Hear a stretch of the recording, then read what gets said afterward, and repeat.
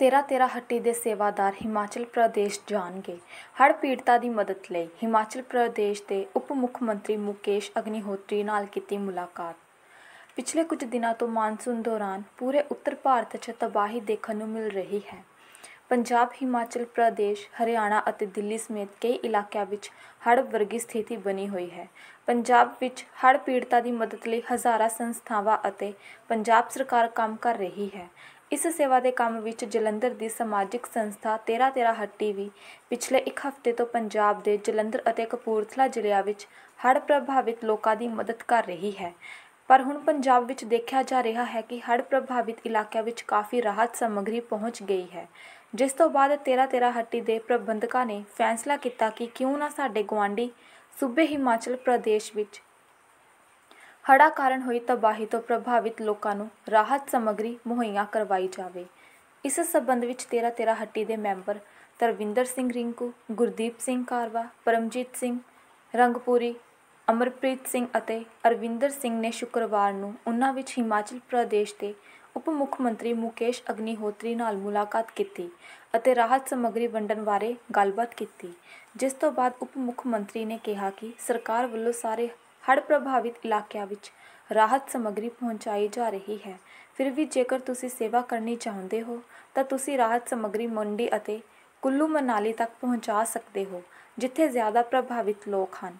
ਇਸ ਮੀਟਿੰਗ ਤੋਂ ਬਾਅਦ ਤੇਰਾ ਤੇਰਾ ਹੱਟੀ ਦੇ ਸੇਵਾਦਾਰ ਗੁਰਦੀਪ ਸਿੰਘ ਕਾਰਵਾ ਅਤੇ ਅਮਰਪ੍ਰੀਤ ਸਿੰਘ ਨੇ ਦੱਸਿਆ ਕਿ ਉਪ ਮੁੱਖ ਮੰਤਰੀ ਮੁਕੇਸ਼ ਅਗਨੀਹੋਤਰੀ ਨਾਲ ਹੋਈ ਮੀਟਿੰਗ ਤੋਂ ਬਾਅਦ ਅਸੀਂ ਫੈਸਲਾ ਲਿੱਤਾ ਹੈ ਕਿ ਉਹਨਾਂ ਦੀ ਸੰਸਥਾ ਮੰਡੀ ਅਤੇ ਕੁੱਲੂ ਮਨਾਲੀ ਖੇਤਰਾਂ ਵਿੱਚ ਰਾਹਤ ਸਮੱਗਰੀ ਪਹੁੰਚਾਏਗੀ।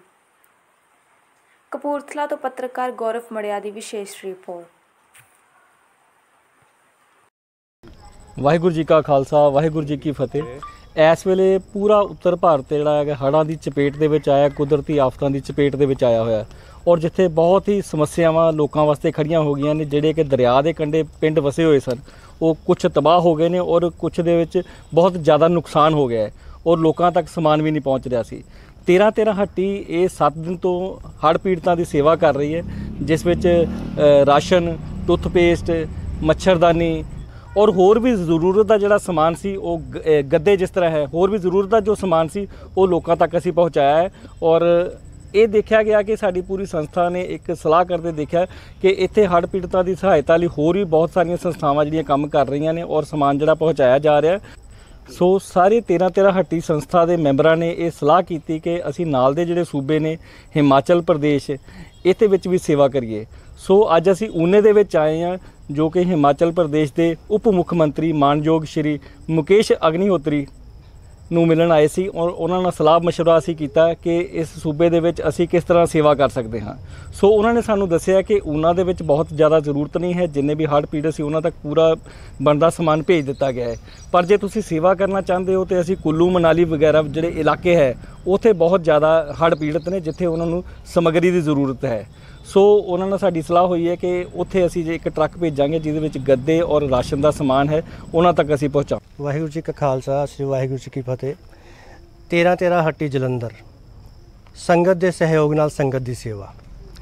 13 13 ਹੱਟੀ ਜੋ ਇਹ ਵਿਪਤਾ ਪੂਰੇ ਪੰਜਾਬ ਜਾਂ ਪੂਰੇ ਉੱਤਰ ਭਾਰਤ ਵਿੱਚ ਪਈ ਹੈ, ਇਹ ਪਿਛਲੇ ਇੱਕ ਹਫ਼ਤੇ ਤੋਂ ਰੋਜ਼ਾਨਾ ਇੱਕ ਦੋ ਗੱਡੀਆਂ ਪੰਜਾਬ ਦੇ ਅਲੱਗ-ਅਲੱਗ ਪਿੰਡਾਂ ਵਿੱਚ ਜਿਵੇਂ ਕਪੂਰਥਲਾ ਹੋ ਗਿਆ, ਸ਼ਾਹਕੋਟ ਹੋ ਗਿਆ, ਲੋਹੀਆਂ ਹੋ ਗਿਆ, ਇਹਦੇ ਲਾਗਲੇ ਜਿੰਨੇ ਵੀ ਪਿੰਡ ਹੈ ਉੱਥੇ ਸੇਵਾ ਚੱਲ ਰਹੀ ਹੈ ਔਰ ਉੱਥੇ ਲਗਾਤਾਰ ਜਾਣ ਤੋਂ ਬਾਅਦ ਅਸੀਂ ਇਹ ਮਹਿਸੂਸ ਕੀਤਾ ਹੈ ਕਿ ਬਹੁਤ ਸਾਰੀਆਂ ਸੰਸਥਾਵਾਂ ਜਿਹੜੇ ਪੰਜਾਬ ਦੇ ਹੜ੍ਹ ਪੀੜਤਾਂ ਨੂੰ ਆਪਣਾ ਸਹਿਯੋਗ ਦੇ ਰਹੀਆਂ ਨੇ। ਸੋ ਤੇਰਾ ਤੇਰਾ ਹੱਟੀ ਨਾਲ ਅਸੀਂ ਇਹ ਵਿਚਾਰ ਕੀਤਾ ਕਿ ਅਸੀਂ ਕਿਉਂ ਨਾ ਨਾਲ ਦੇ ਸੂਬਿਆਂ ਵਿੱਚ ਸੇਵਾ ਕੀਤੀ ਜਾਵੇ। ਤੋ ਸਾਡੇ ਤੇਰਾ ਤੇਰਾ ਹੱਟੀ, ਉਹਨਾਂ ਦੇ ਇੰਚਾਰਜ ਸਰਦਾਰ ਅਰਵਿੰਦਰ ਸਿੰਘ ਜੀ ਨਾਲ ਅਸੀਂ ਵਾਰਤਾਲਾਪ ਕੀਤਾ। ਤੇ ਅਸੀਂ ਇਹਨਾਂ ਕੋਲੋਂ ਕਹਿ ਕੇ ਤੇ ਫਿਰ ਅਸੀਂ ਟਾਈਮ ਲਿਆ ਮਾਨਯੋਗ ਮੁੱਖ ਮੰਤਰੀ ਜਿਹੜੇ ਹਿਮਾਚਲ ਦੇ ਨੇ ਉਹਨਾਂ ਕੋਲੋਂ ਤੇ ਉਹਨਾਂ ਨਾਲ ਗੱਲਬਾਤ ਕੀਤੀ ਹੈ। ਤੇ ਉਹਨਾਂ ਨੇ ਸਾਨੂੰ ਆਪਣਾ ਮਾਰਗਦਰਸ਼ਨ ਦੱਸਿਆ ਵਾ ਕਿ ਤੁਸੀਂ ਇੱਦਾਂ ਇੱਦਾਂ ਕਿੱਥੇ ਕਿੱਥੇ ਜਾ ਸਕਦੇ ਹੋ। ਤੋ ਅਸੀਂ ਅਗਲਾ ਪੜਾਅ ਜਿਹੜਾ ਹੈਗਾ ਹੁਣ ਹਿਮਾਚਲ ਵਿੱਚ ਜਾਵਾਂਗੇ। ਆਪਣਾ ਕੁੱਲੂ ਮਨਾਲੀ ਵਾਲੇ ਸਾਈਡ ਔਰ ਸਾਡੇ ਅਰਵਿੰਦਰ ਜੀ ਸਾਡਾ ਪੂਰਾ ਸਾਥ ਦੇਣਗੇ। ਸਾਡੀ ਉਨੇ ਵਾਲੀ ਟੀਮ ਸਾਡੀ ਜਲੰਧਰ ਵਾਲੀ ਟੀਮ ਦੇ ਨਾਲ ਮੋਢੇ ਨਾਲ ਮੋਢਾ ਜੋੜ ਕੇ ਚੱਲੇਗੀ। ਵਾਹਿਗੁਰੂ ਜੀ ਕਾ ਖਾਲਸਾ ਸ੍ਰੀ ਵਾਹਿਗੁਰੂ ਜੀ ਕੀ ਫਤਿਹ। ਆ ਚਲੋ ਫਿਰ ਵੀ।